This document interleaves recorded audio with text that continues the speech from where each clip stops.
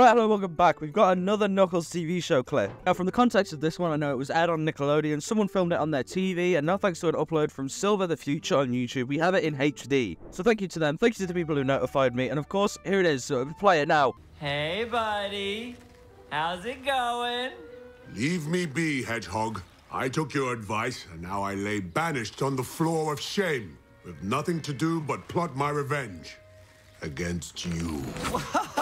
Whoa, lighten up, big guy. Being grounded isn't that bad. I lived in a cave for seven years. You can survive a few days in an attic. Look at all these great options you have. Like comic books, music, video games. They've come a long way since the 90s. Ah! Where have you sent me? And viral dance videos! See what I mean?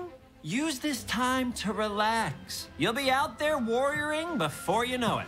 Okay, good talk. Now we get to see the context behind the photo of Knuckles in a VR headset and Sonic dancing. Turns out, yes, it actually is like TikToks. He says viral dancing videos, so, so Sonic has a TikTok account? He, he makes TikTok videos? And it appears Knuckles is grounded, which to my guess would probably be after he makes that like fighting warrior pit in their living room. Maddie probably finally has enough of him and decides, you know what, go up to Sonic's room and stay there for like a week or something. And whilst we can see in this clip that Sonic is trying to convince him, hey, this isn't that bad of a thing, you can get stuff done here. I do not see Knuckles listening to that at all. I'm just being honest. But either way, this is hype. It comes out in like six days. I cannot wait for this TV show. It's going to be so good. And there's another clip for you all to keep you excited. And you, you can just keep rewatching that for the next six days until it drops. Anyways, like, subscribe on the best Sonic Movie 3 Knuckles TV show news source that is. Proven fact, by the way, that is a proven one. And I'll see you in a bit.